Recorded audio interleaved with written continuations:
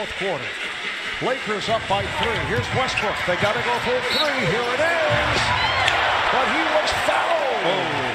He'll go to the oh. line for three with 2.9. He's 0 for 7, but he could be the most dangerous player on the floor. Why? Because he's getting assists tonight, 11 assists, even though he's 0 for 7. Lonzo Ball will look to inbound. Steven Adams on the inbound. Here is Kuzma. And we go to overtime. At the end of